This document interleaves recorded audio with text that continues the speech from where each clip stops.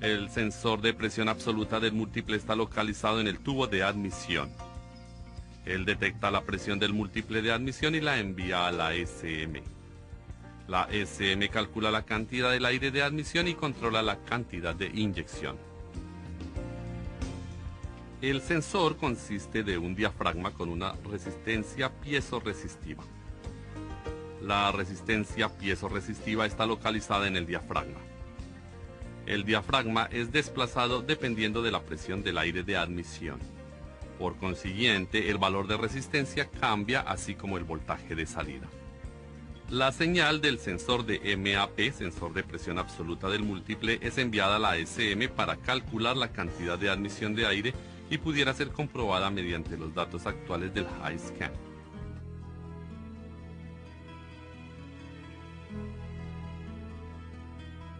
Si cualquier código de avería está presente o los datos actuales están equivocados, compruebe el sensor, el cableado y la SM. Los terminales del sensor consisten de uno de energía de 5 voltios, uno de tierra y uno de señal. Para comprobar el cable de energía y de tierra del sensor, mida el voltaje en cada terminal.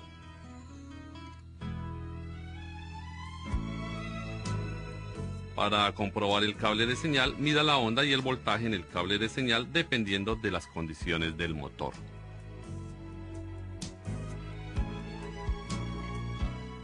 Además, para comprobar el cable de señal y la SM, realice una simulación de sensor con el HiScan Pro. Entonces confirme si los datos actuales son correctos comparándolos con el voltaje aplicado al sensor.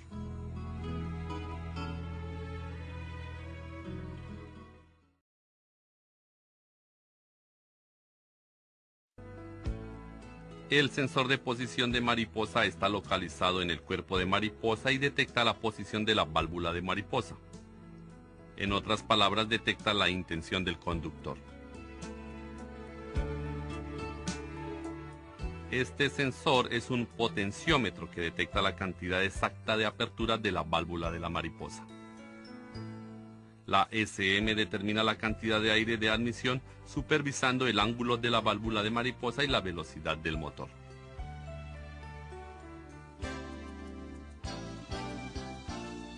La señal del sensor de posición de mariposa puede ser comprobada con los datos actuales del HiScan Pro. Si los datos actuales estuvieran equivocados, deberíamos de comprobar el sensor, el cableado y la SM. Si el sensor de posición de mariposa es integrado con el interruptor de ralentí, entonces tendrá cuatro terminales. De no ser así, entonces tendrá tres terminales, uno de tierra, uno de señal y uno de 5 voltios de energía. Para comprobar el sensor, retire el conector y mida la resistencia entre cada terminal.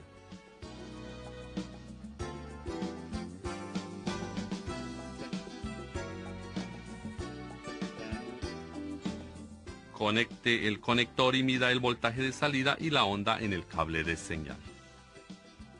Además, para comprobar el cable de señal y la SM, realice una simulación de sensor con el HiScan. Entonces confirme si los datos actuales son correctos comparados con el voltaje aplicado al sensor.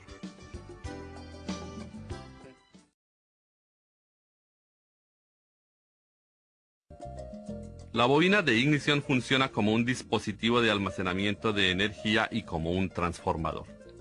El alternador le suministra con voltaje DC y también proporciona los pulsos de ignición de alta tensión para las bujías. El motor MFI adopta un sistema computarizado de ignición.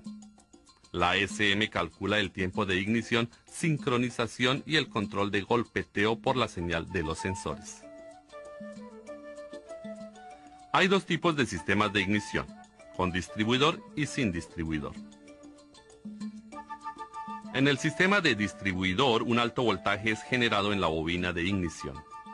Esta es distribuida a los cuatro cilindros mediante el distribuidor.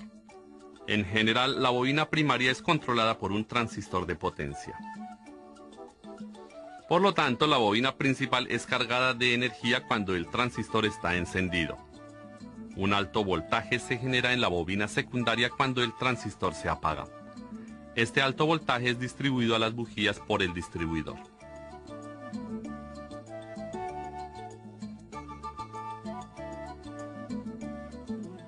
En el tipo de ignición sin distribuidor consiste de dos o más bobinas de ignición.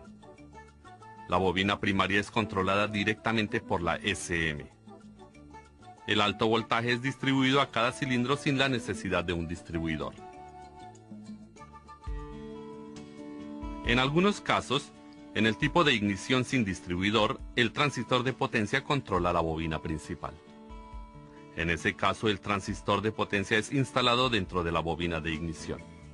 Las operaciones de la bobina de ignición y la del transistor de potencia son iguales a las del sistema con distribuidor. Los siguientes son varios métodos de comprobar el sistema de ignición. Prueba de chispa, comprobando resistencia de la bobina, y midiendo la onda de la bobina de ignición principal durante el arranque del motor o en ralentí. Para realizar la prueba de chispa, retire el cable de bujía de alta tensión de la bujía y compruebe si hay generación de chispas del cable de alta tensión. Como referencia, cuando la condición de ralentí no es satisfactoria, retire el cable de alta tensión de cada cilindro uno por uno y realice una prueba de balance de potencia, el cual compara las condiciones del motor. Con esta prueba podemos encontrar el cilindro que tenga problemas.